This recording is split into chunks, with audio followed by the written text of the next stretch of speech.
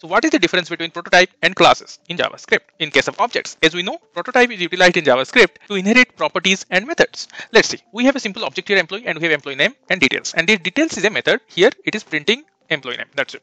Now we will create another object out of this using object.create. So here we are creating emp1 and we are assigning a name to it. Now we are printing this emp1 object to see what is there inside it. So if you'll see here, this emp1 object is having emp name and if you'll expand it, you will see there's a prototype. Basically inside the prototype, we have your property that is emp name and a function that is details, right? Now let's do the same thing using class. Now if you'll see, we have a simple class emp here and we have taken the constructor to get the emp name from the object. And here we have a similar method details and it is just printing the employee name. Now how do you create an object out of it? Using name keyword. So here if you'll see, we have emp name and we have a prototype as well. But remember, we have utilized class. Still we have got prototype. That means under the hood, class is utilizing prototype.